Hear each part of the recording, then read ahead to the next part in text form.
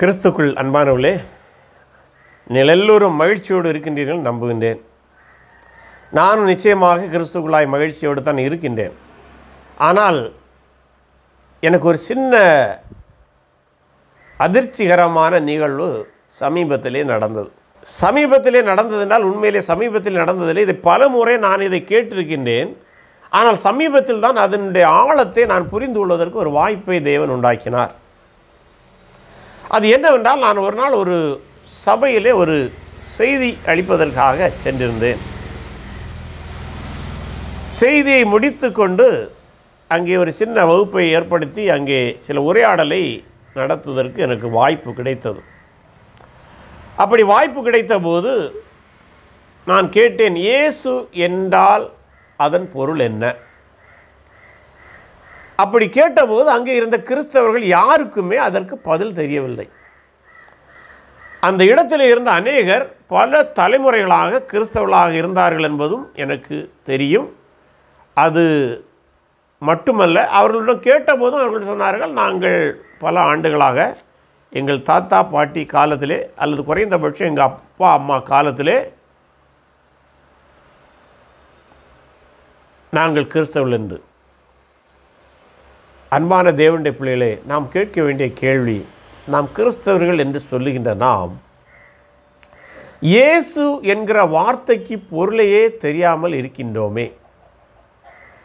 ஒருவேளை கேட்டுக்கொண்டு இருக்கிற உங்கள் யாவருக்கும் இது தெரியுமானால் மிக மிக மகிழ்ச்சி அடைவேன் நான். ஒருவேளை உங்களுக்கு அதனுடைய பதில் தெரியவில்லை என்றால் நான் உங்களை கடிந்து கொள்ள மாட்டேன் அன்போடு வேண்டுகின்றேன். நாம் ஏ கிறிஸ்தவர்கள் என்று சொல்கிற நாம் அனைவருக்கும் கட்டாயம் தெரிந்திருக்க வேண்டிய ஒரு சில பதங்கள் அல்லது அந்த அந்த பொருள் என்னவென்றால் முக்கியமாக இயேசு என்றால் பொருள் என்ன? இதை நாம் சொல்லும்போது ஒன்றை புரிந்து கொள்ள வேண்டும். இயேசு என்கிற வார்த்தை எபிரேய மொழியிலிருந்து வந்ததான ஒரு வார்த்தையுடைய கிரேக்க பதம். பழையற்பாட்டிலே நாம் படிக்கின்றோம் யோசுவா என்கிற ஒரு பெயரை படிக்கின்றோம்.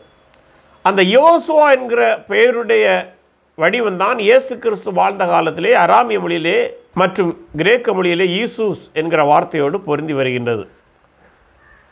யோசுவா என்கிற பெயருடைய பொருளும் இயேசு என்கிற பெயருடைய பொருளும் ஒன்று தான் அது இது நான் ஒரு சரித்திர தகவலுக்காக சொல்கின்றேன் ஆனால் இப்போது கிறிஸ்தவர்களாகிய நாம் இயேசு என்று சொல்லுகின்றோம் தமிழிலே. கிரேக்கத்தில் யூசூஸ் என்று வருகிறது. ஆங்கிலத்தில் அதை ஜீசஸ் என்று மொழிபெயர்த்திருக்கின்றார்கள். அது எல்லாமே ஒன்றை ஒருவரைத்தான் சொல்கிறது அல்லது ஒரே பொருளை கொண்டதுதான். அது என்னவென்றால் இயேசு என்றால் ரட்சிக்கிறவர் அல்லது கர்த்த ரட்சிக்கிறவர் என்று சொல்ல முடியும். ஆனால் இந்த வார்த்தையை ஆண்டவராக இயேசு கிறிஸ்து பிறப்பின் செய்தியை முன்னறிவித்த போது எப்படி தூதன் சொல்கின்றார் என்றால் மத்திய ஒன்றாம் அதிகாரம் இருபத்தொன்றாம் வசனத்திலே அது இருக்கின்றது. அவள் ஒரு குமாரனை பெறுவாள் அவருக்கு இயேசு என்று பெயரிடுவாயாக. ஏனெனில் அவர் தமது ஜனங்களின் பாவங்களை நீக்கி அவரை ரட்சிப்பார் என்றான். பாருங்கள் அவர் கர்த்தர் அல்லது இங்கே இயேசுவை குறிக்க முடியும்.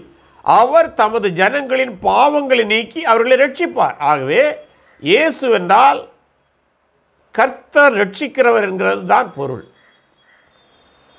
த லார்ட் சேவ்ஸ் ஆகவே கர்த்தர் ரட்சிக்கிறார் என்கிற பொருளைத்தான்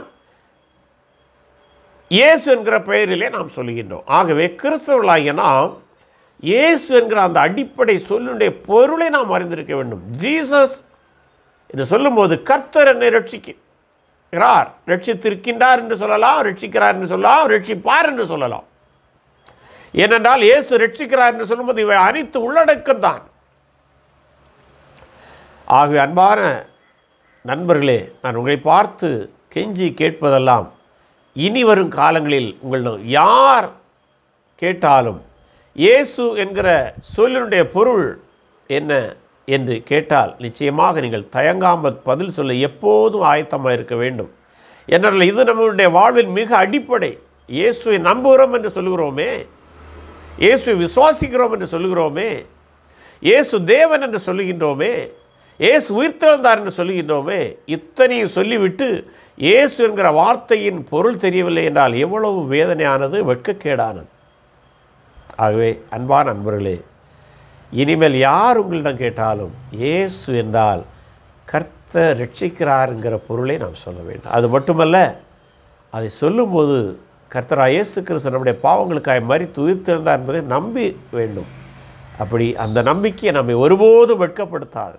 ஆகவே கிறிஸ்தவர்களாகிய நாம் இயேசு என்கிற வார்த்தையினுடைய பொருளை அறிந்திருக்க வேண்டும். இயேசு என்றால் கர்த்தர் ரட்சிக்கிறவர். ஆகவே உங்களோடு மீண்டும் வேண்டிக் கொள்கின்றேன். இந்த வார்த்தையின் பொருளை ஒருபோதும் மறந்து விடாதீர்கள். இந்த ஒரு வார்த்தையின் பொருளே உங்கள் வாழ்விலே அநேக காரியங்களை மாற்றியமைக்க வல்லமை உள்ளது. கர்த்தர் உங்களை ஆசிரியப்பாராக கர்த்தர் இயேசு கிறிஸ்து நாமத்தில் உங்களை ரட்சிப்பாராக. நன்றி.